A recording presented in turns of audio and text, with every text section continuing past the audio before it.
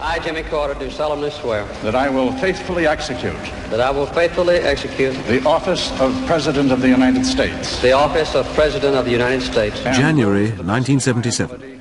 Jimmy Carter takes the oath as President of the United States, promising a new beginning after the trials of Watergate and Richard Nixon's resignation. The Constitution of the United States. So help me God. So help me God. Congratulations. But the Cold War still rages as President Brezhnev reviews his forces in Red Square. In Britain, summer crowds as the country celebrates the Queen's Silver Jubilee.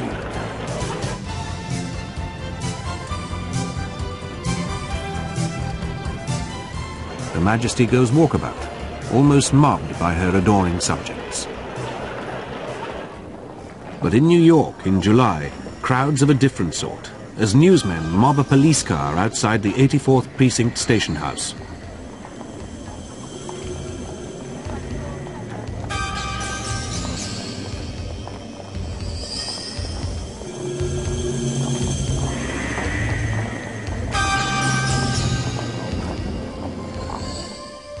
The reason?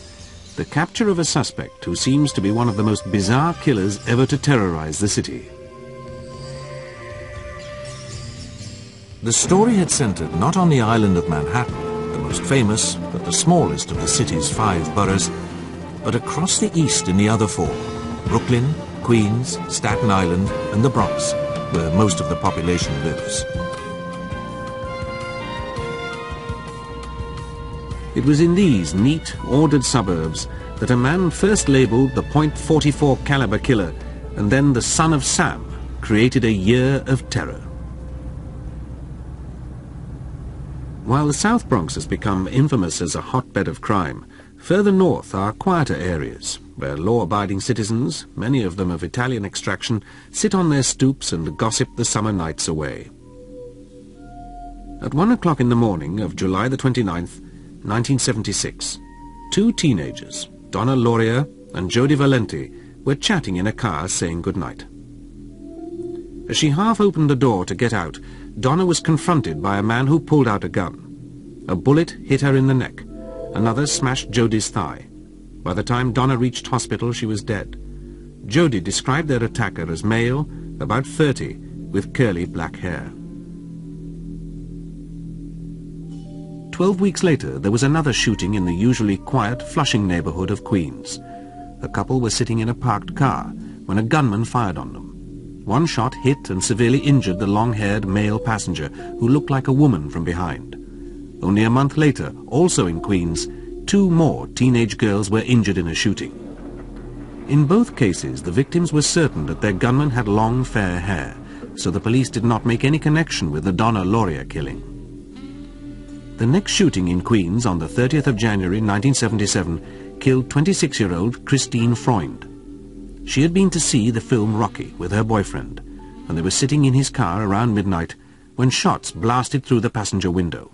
Later, her boyfriend gave public voice to the suspicion that the shootings were connected and that a killer with a particular target was on the prowl. Uh, this man's got to be caught because he will injure or kill a lot more people if he's not caught in, you know, in a certain amount of time because he's, I think he's, uh, sick is a word, it's just an excuse for him.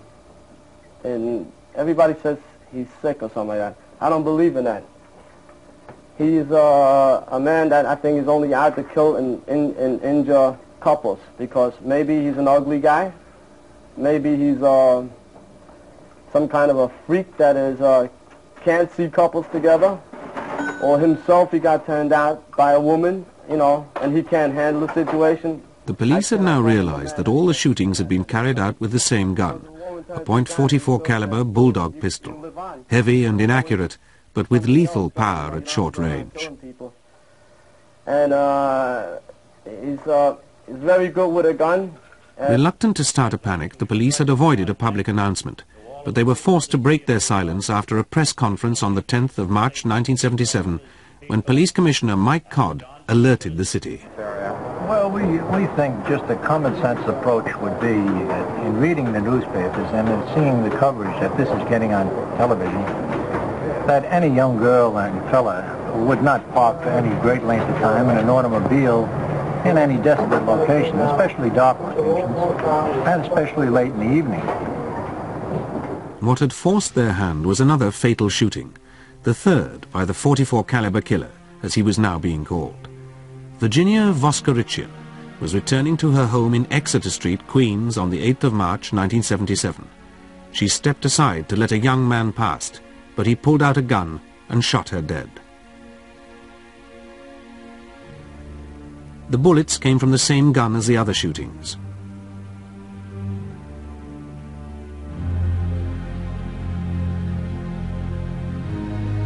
Only five weeks later, on the 17th of April 1977, the same weapon was used to kill courting couple Valentina Suriani and Alexander Esau as they sat in a car in the North Bronx, close to where Donna Lauria had been murdered. But this time the killer had left another clue. When the police arrived, they found a letter in the middle of the road addressed to Captain Joe Borrelli. Despite bad spelling, it ended clearly enough. I'll be back. I'll be back. Bang, bang, bang, bang. Uh, yours in murder, Mr. Monster. Earlier, the writer had said, I feel like an outsider. I am on a different wavelength than everybody else, programmed to kill. I love to hunt, prowling the streets looking for fair game, tasty meat. I am the son of Sam and it was this name that caught the public imagination as New York became obsessed by the killings. Son of Sam sent a second letter, this time to newspaper columnist Jimmy Breslin, starting off, Hello from the gutters of New York City, which are filled with dog manure, vomit, stale wine, urine, and blood. The letter threatened ominously, Sam's a thirsty lad. He won't let me stop killing until he gets his fill of blood. Tragically, within a month, on the 26th of June 1977, Sam got more blood, as Judy Placido and Salvatore Lupo were shot at point-blank range as they sat in Sal's car after an evening at a discotheque in Queens. Incredibly, they both survived, and witnesses spotted a stocky man running away. The police now had several descriptions of the killer, but they were confused because some spoke of a man with long fair hair while others described him as having curly dark hair. The one consistent link between all the shootings was the weapon, the same .44 caliber bulldog.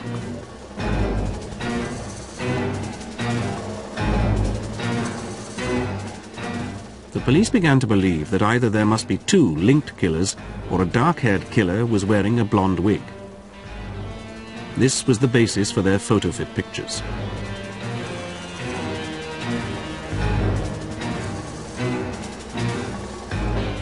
The net was closing in, but not before the son of Sam claimed one more couple as victims.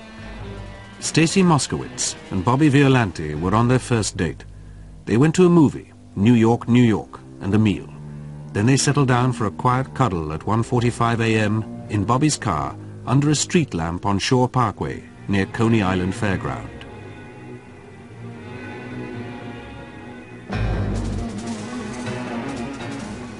Son of Sam watched them kiss and opened fire. Stacy was shot in the head and died next day. Bobby was shot in the face and blinded.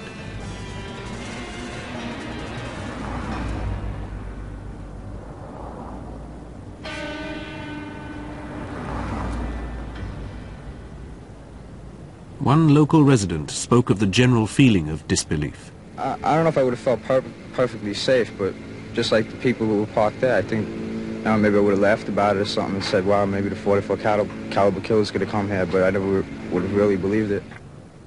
Tragically, Stacy Moskowitz and her sister had jokingly put the odds on meeting the 44 caliber killer at several million to one.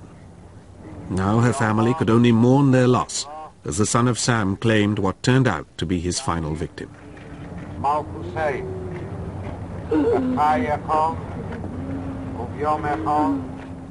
For there had been several witnesses to her killing, and one of them turned out to have the vital clue. For three days, Mrs. Cecilia Davis remained silent for fear of retribution from Son of Sam. Then she came forward to say that at 2 a.m. on the night of the killing, she had seen a yellow Ford Galaxie illegally parked by a fire hydrant. A young man had taken a parking ticket off it and driven away. When the police checked the ticket, it had been given to a David Berkowitz, who lived in Yonkers. Two detectives went to his address and found the yellow Ford Galaxie parked outside his apartment. Looking through the window, they saw the butt of a rifle sticking out of a duffel bag. They opened the car and then found a letter addressed to the police commissioner written in Son of Sam's unmistakable handwriting. It threatened a shooting attack on Long Island. I think we've got him, said Detective Ed Zigo, as the car and apartment were staked out.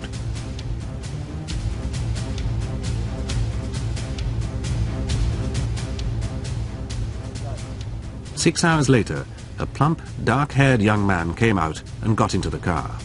The police raced forward and told him to freeze.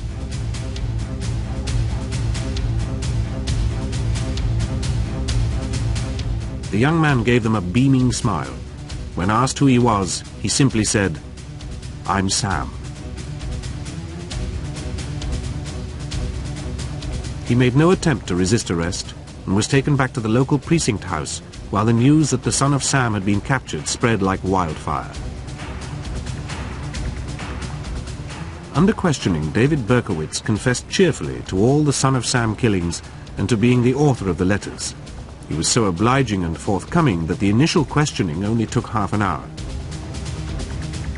After 12 months, the police team had their man, and the detectives who arrested him were soon talking to the press. Detective Charles Higgins and John Wongel were staked out on a roof to cover the back and the roof. And at that point, we observed a male coming out of the apartment house. We watched him go to the car, and when he got into the car and started the engine, we into custody. Berkowitz's apartment was searched and a cache of arms discovered and removed.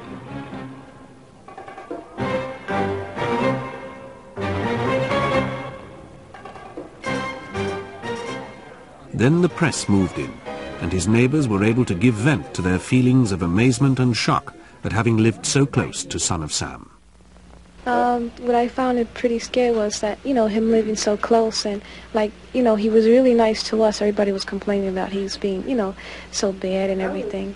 And, you know, like, he was really nice to us. So, you know, he, we really never had any problems with him. I'm shocked to hear it was him because I don't, I would never have thought it was. Mayor Abe Beame was swift to thank the police. I want to say that all New Yorkers' hearts and thanks go out to this crack professional police team that resolved this very baffling case, which was like looking for a needle in a haystack. And all New Yorkers, I'm sure, express their thanks to the police, their families, the volunteers, and retired detectives, all of whom pitched in. At his initial questioning, David Berkowitz had told the police an incredible story. He had been urged to kill by demon voices, which had accompanied him when he went hunting for victims and told him what to do. He claimed that the demon voices told him that they originated from his neighbor Sam Carr, and that orders to kill had been transmitted to him by Carr's dog. Berkowitz's flat overlooked the Carr's house, and on investigation the story became even more bizarre. Berkowitz had never met Carr, but he had written letters complaining about the howling of his dog a black Labrador. The press swiftly descended on the family of the innocent man whom Son of Sam claimed was his infernal father, but they got little satisfaction.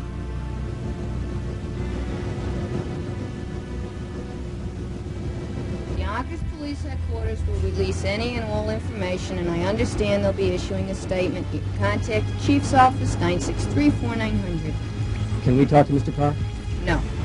Mr. Carr has been asked not to talk to the press, and we're not making any comments, okay? Speculation was fueled by the revelation that the Carr's house had been firebombed and their black Labrador shot. Berkowitz admitted both crimes and claimed that the fact that the dog survived showed that it was a devil in disguise. Born on the 1st of June 1953, David Berkowitz was the unwanted result of a liaison between his mother and a married businessman. He was adopted as a newborn baby by Nathan and Pearl Berkowitz.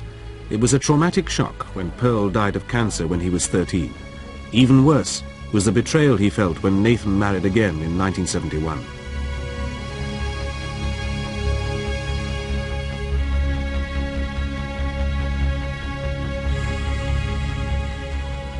Berkowitz resented his new stepmother and stepsister and soon left his father's home. He joined the army and served in Korea, where he experimented with drugs.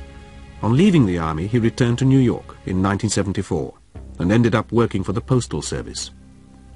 Within hours of his arrest, Berkowitz was arraigned for the Son of Sam murders. He still smiled as cheerfully as he had during his arrest. Two lawyers announced that some of his relatives had asked them to prepare his defense. And the judge ordered that he be committed to Kings County Hospital for psychiatric examination. In hospital, he talked about how he had been driven to kill by demonic voices. Psychiatrists noted his sense of inadequacy and sexual frustration. Many people were surprised at the massive security which surrounded him. The uh, hospital grounds were closed to everybody, including, as you know yourself, the press. And uh, there were people stationed on the rooftops, and uh, he was taken in a closed van with a motorcycle convoy. And the uh, major case squad of the New York Detective Division uh, was in charge of the whole escort. Why was it so tight?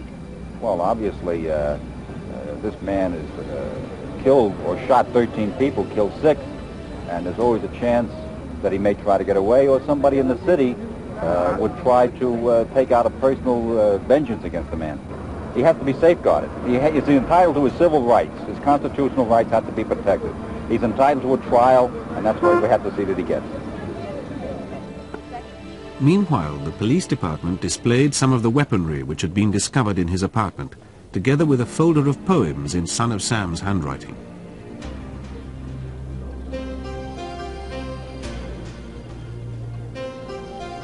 Pride of place was given to the 44 caliber pistol which had been discovered in his car and identified as the gun used in the killings.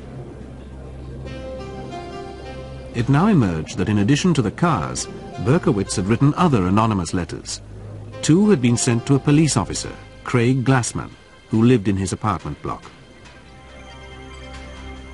On July 13th, a second letter was received By you. by myself through the mail, and again it was the same person who had written the first letter, except in the second letter it was referred to as like my superior Craig Glassman, and then this next line was Sergeant Glassman. So this led me to believe that it must have been somebody who had seen me in uniform, and uh, at that time, Okay. Can you read us on Yes, I will. My master, Craig, you will be punished. Craig, how dare you force me into the night to do your bidding? I promise you, Craig, that the world shall spin on you and your mother. New paragraph. I know, master, that I am doomed, but do not think that I will not tell the authorities of you. True, I am the killer, but Craig, the killings are on your com- are, are on your commands. I'll repeat that again. True, I am the killer, but Craig, the killings are your commands. I shall see you standing naked at the judgment seat. Upon your condemnation, the world shall rise in jubilation. The terrible, wicked Craig is dead. They shall shout. How well did you know? The streets have been filled with blood, Glassman, per your request, and signed your brother. Berkowitz had narrow escapes. After he killed Virginia Voskerichian, he was stopped at a police roadblock. His 44 was on the seat beside him. But just before it was his turn, the car-to-car search was called off.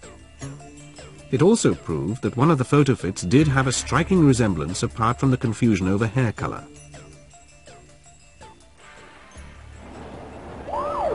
Two weeks after his arrest, Son of Sam was taken to court for formal proceedings to begin. Two psychiatrists had now concluded that he was suffering from advanced paranoid schizophrenia. To counter this, the Kings County District Attorney produced a forensic psychiatrist's opinion that while the defendant shows paranoid traits, they do not interfere with his fitness to stand trial. Berkowitz's attorney, Mark Heller, entered an initial plea of innocent and announced that he intended to use insanity as a defense. He also questioned whether Son of Sam could ever receive a fair trial. I read internationally they compared this case to the case of Jack the Ripper. And I think that uh, there is a very serious doubt as to whether there can ever be a fair trial. The argument now centered on whether Berkowitz was fit to stand trial. One judge announced that he would refuse to accept a plea of guilty if Berkowitz continued to talk about demons, since this clearly marked him as insane. But Judge Joseph Corso took a different view and explained why he felt a trial should go I ahead. found him fit to proceed now. What he was at the time of the commission of the crime, that would be the plea of insanity. I have made no ruling as to that.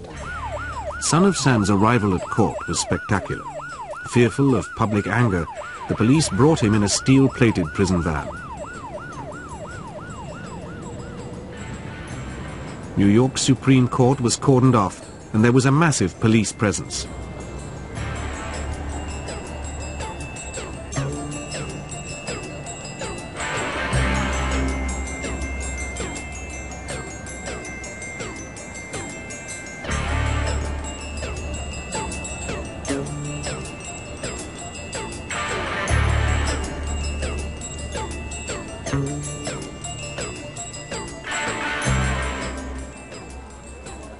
But in the event, David Berkowitz's appearance there was short.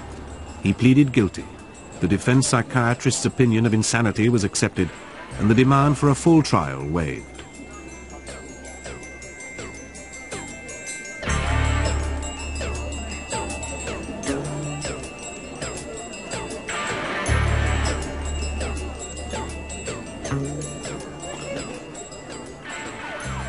Son of Sam was taken away to begin a sentence which altogether totaled 365 years.